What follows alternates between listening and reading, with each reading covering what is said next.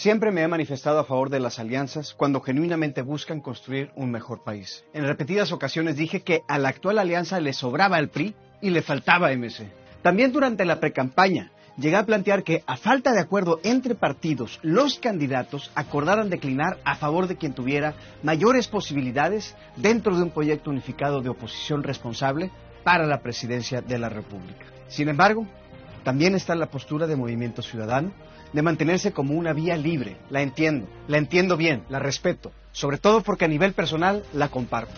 Es frustrante que te obliguen a elegir entre el bando de los corruptos de antes o el de los ineptos de ahora. Movimiento Ciudadano es la plataforma con la cual simpatizo y estoy compitiendo, con Jorge Álvarez Maínez como nuestro candidato. A nivel personal, genuinamente me gusta más la propuesta que plantea nuestro movimiento y que se distingue por darle una nueva opción ciudadana a la política local y nacional. Por eso, voy a votar por Movimiento Ciudadano. Sin embargo, debemos recordar algo fundamental. Nuestro México es mucho más grande que cualquier partido. Y eso lo tienen que entender primero que nadie quienes forman parte de los partidos o bien quienes estamos cerca de uno. Debemos de entender que no se trata de nosotros, sino de la gente y de cómo servir mejor. Por eso respeto a quienes no comulgan con la idea de que un candidato decline a favor de otro para salvar a México. Idea que causa escorsor en ambos lados, por cierto.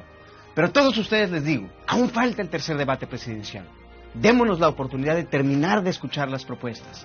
Contrastemos, tomemos la mejor decisión. Mi llamado es a ambos candidatos de oposición. Los partidos y sus liderazgos están pensando solamente en los partidos y sus liderazgos. Por eso no sorprende que no se hayan podido poner de acuerdo. Pero hoy ustedes tienen la misma posibilidad, ahora como candidatos, de llegar a un acuerdo por el futuro de México.